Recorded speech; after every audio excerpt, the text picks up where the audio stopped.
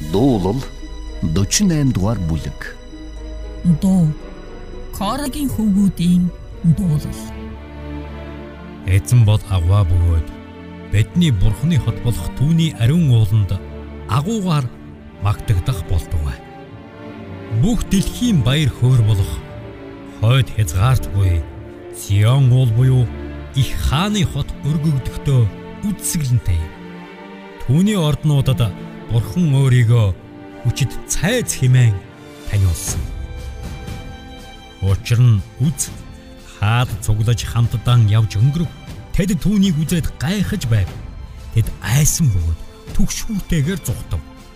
Тэнд тэд үрмэн самуунд төрж буй эмхтэн шиг өвчин шаналд автжээ. Дорны салхиар та Таршишийн усан онгоцнуудыг хэмхчдэг. Түмэн цэргийн эзний хот бидний бурхны хотод бид сонссон шиг харсан билээ. Бурхан түүнийг мөнхөд байгуулна. Бурхан бид таны сүмийн голд таны хайр инэрлийг бодсон. Бурхан таны нэр ямар байдаг шиг таны магтаалч газрын хязгааруудад тийм хүрдэг. Таны баруун мотор зөв шударгаар дүүрэн таны шүүлтээс болж Сион уулыг баярлуулж Иудагийн огтыг баясуулаач. Сионоор алхаж түүнийг тойрон яв. Самхгуудыг нь тоол түүний хэрмүүдийг тунгаан бод.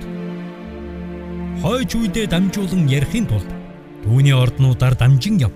Учир нь энэ бурхан бол мөнхийн мөнхөд бидний бурхан билээ. Тэр биднийг өхөн өхтөл хөтлөх болно.